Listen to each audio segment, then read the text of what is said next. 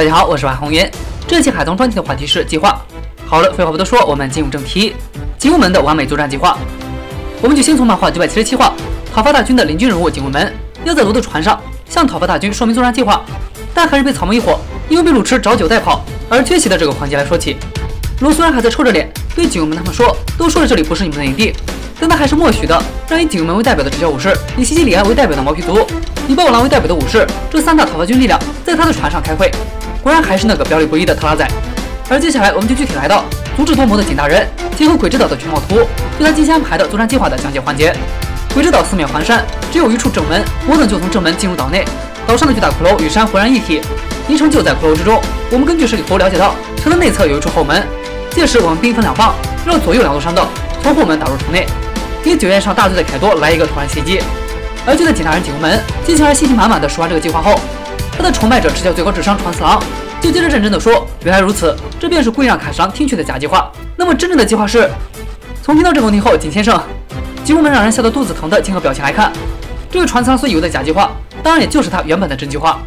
而此时雷萨也看不下去的小声对警卫们说：“看吧，过高的评价以后就是过高的期待了。”也多亏了真正的智将在一边旁听的罗同学在这时发话。才算是及时拯救了警卫门的颜面。罗接着说：“首先，我们假设敌人已经知道我们要进攻，那么他们想击垮的就是你们这些持枪武士以及三个船长。我草帽当家，尤斯塔斯当家。”所有人都在安静的听着。罗接着说：“你们把计划制定的再巧妙，依然大约有两名傻瓜会从正面突破。傻瓜？”大家疑惑的问。而正如我们在第二弹情报中已经猜测的，这两位傻瓜自然就应该是路飞和基德，而不是路飞和索隆。罗接着说：“那些傻瓜是很好的诱饵，所以其他人可以按照计划绕左右两侧山路前进。但是这些人也还是诱饵。”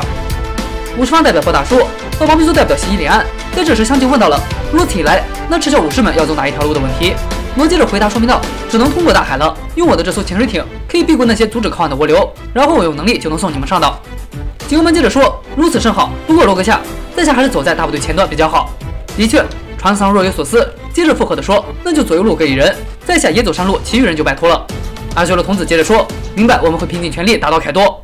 而如此一来，讨伐大军的真正作战计划，目前其实就已经非常明了了。没有听到计划，也不需要计划的草帽一伙，还有和草帽一伙竞争的其他一伙，作为讨伐大军的绝对战力担当，会作为主力军从正面直闯鬼之岛龙穴。这就算是主力军的第一队，也可以说是诱饵军的第一队。而左右两侧有警卫们和传次郎各自带领一队武士和毛皮族的战士们，会避过正面的冲突，从两边的山路前锋攻向鬼之岛后门。这是掩护军或诱饵军的第二队和第三队，罗子会带着阿修罗童子等几位赤鞘，由水下到达鬼之岛后方，再从后门攻入。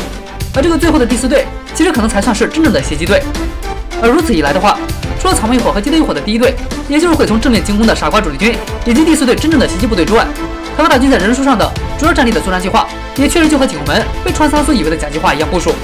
因此，阻止夺门的警卫门景大人也就很自然的接着罗的话，一样子流露出尴尬和掩饰的表情说。